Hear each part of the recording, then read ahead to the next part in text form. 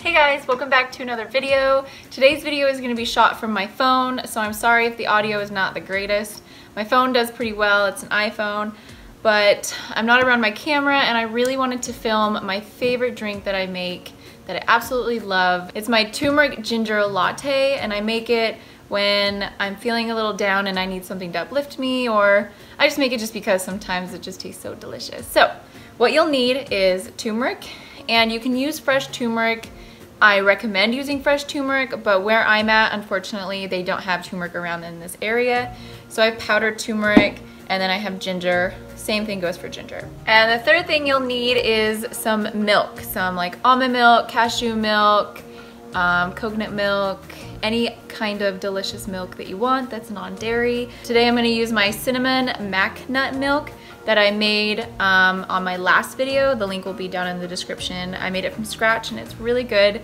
So it's gonna make this turmeric ginger latte taste way, like, so much better. It's gonna be like, oh my gosh, to die for. So let's get started. So the first thing you're gonna do is you're gonna take your milk, you're gonna dump it into the cup that you're gonna drink out of. So I'm gonna drink about this much.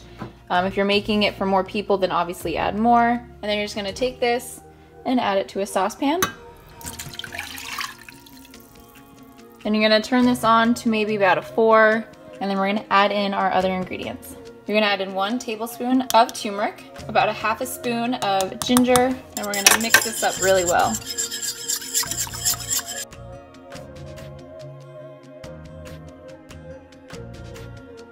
And once you stir it all together, you're just gonna wait until it heats up. You don't wanna bring it to a boil because you don't want it to burn. So once it's about room temperature, then you're pretty much done. All right, so here is the finished product.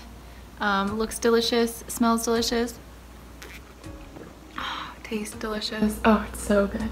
So with this, you can also add cinnamon or nutmeg, but since I already had that in the milk that I used, I just left it with the turmeric and ginger.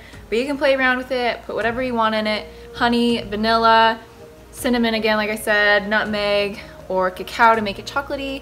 But, um, but yeah, this is it. It is very delicious, very warm and hot. Perfect for today. Hope you guys enjoyed today's video and I will